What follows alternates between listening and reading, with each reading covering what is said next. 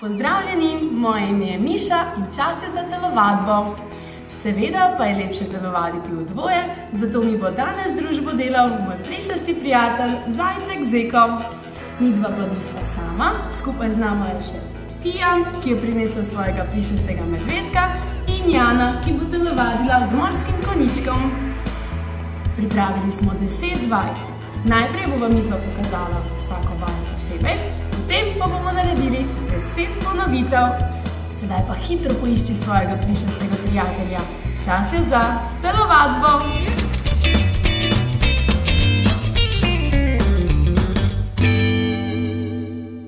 Najprej bomo z našim prišastim prijateljem naredili sonce. Petkrat v eno smer in petkrat v drugo. Takole bomo iztegnili roke in narisali velik krog. Najprej v eno smer, potem pa še v drugo. Pripravljeni? Začnimo. Ena, dva, tri, še dvakrat, štiri in pet. Da se našemu prijatelju ne bo vrtelo v glavi, naredimo pet ponovitev še v drugo smer. Ena, dva,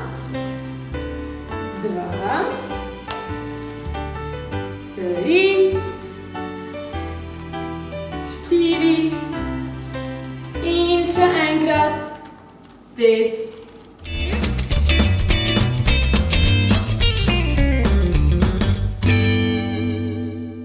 Pri vaji številka dve bomo našega prijatelja preprijeli pod nogami. Takole, dvignemo noge visoko in primemo. Ena, pa še v drugo smer. Tako, začnimo. Ena,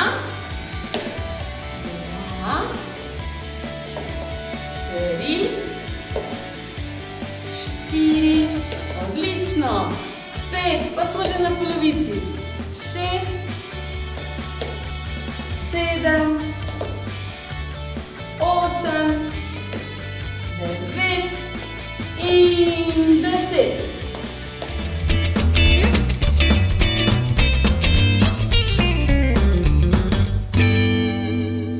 Pri tretji vaji bomo našega prijatelja zasukali v obe smeri.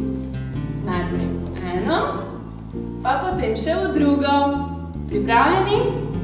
Začnimo.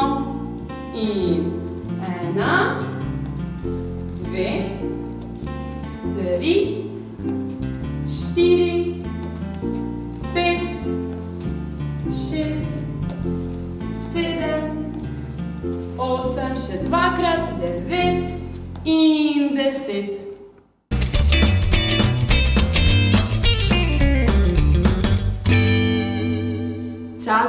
Počepe.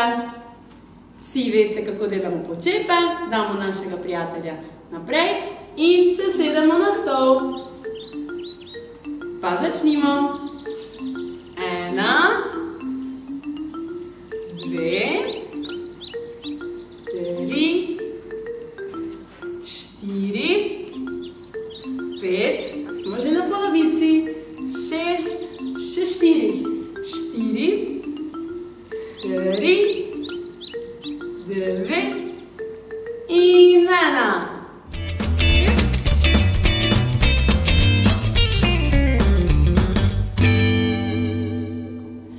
vaji številka 5 se bomo z igračo dotaknili nasprotnega stopala, iztegnili bomo roke in se dotaknili stopala. Potem pa bomo še petkrat isto ponovili v drugo smer. Tako. Smo pripravljeni? Pa začnimo. In ena, dva, tri, štiri pet. Še v drugo smer. Ena, dva, tri, štiri in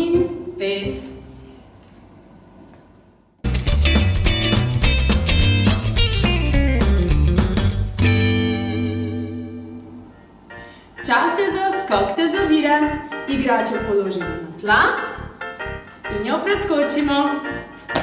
Pa še v drugo smer. Tudi vidno odložite, igrači. Na svoje mesta. Pa začnimo. Ena, dva, tri, štiri, pet, malce pauza, pa še petkrat. In šest, sedem, osem, še dvakrat, devet in deset.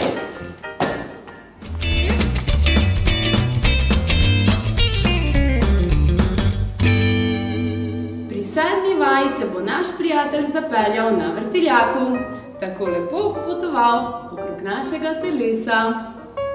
Pa naredimo to vajo vsi skupaj. Ena, dve, tri, štiri in pet. Lahko se spustimo še malce niže in ga zapeljemo okrog naših kolen. Pa počasi, spet gor. Odlično.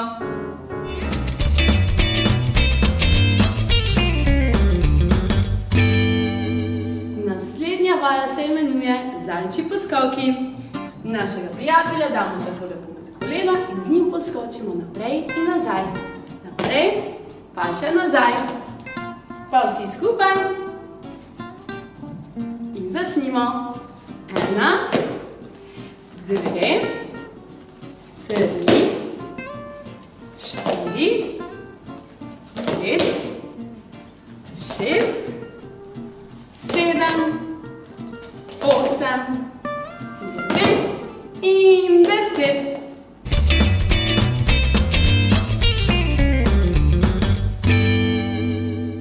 Deveti vaji bomo oponašali štorkljo. Dvignili bomo eno nogo, potem pa še našega prijatelja, visoko nad glavo in štiri do pet. Tijan in Jano, pa začnimo. Torej, dvignemo eno nogo, pa še našega prijatelja in štejemo do pet.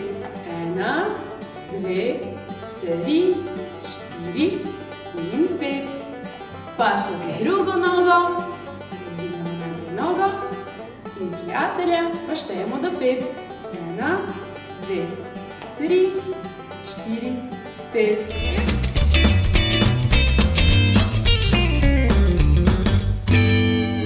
Tudi pri deseti vaji bomo preizkusili naše ravnotežje. Predstavljajte si, da hodite po vrvi. Naš prijatelj pa je seveda že na naših glavah. Šli bomo naprej, počasi, potem pa še nazaj. Začnimo vsi skupaj. Gremo naprej. Previdno. In še čisto počasi nazaj. Tako da naš prijatelj ne pade dol iz glave. Bravo! Odlično! Opravili smo vseh deset vaj. Kot vidiš, je telovadba lahko zelo zabavna.